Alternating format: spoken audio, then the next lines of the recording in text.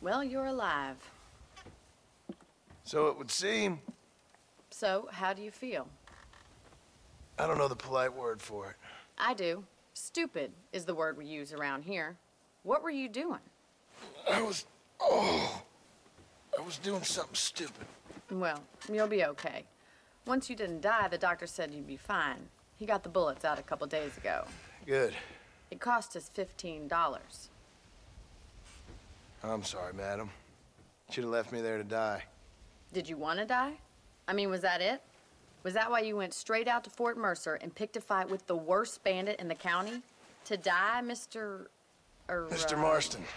John Marston. Bonnie McFarland. Miss Bonnie McFarland. Well, you may be right, Miss McFarland. I don't know. Huh. So what were you doing? Trying to give Mr. Williamson a chance. For old time's sake. You know Bill Williamson? Knew him. Long time ago. Well, what was he like? Dumb. Just like you. Thank you, miss. See my hat? I have. And, uh, what will you do now? Now I'm gonna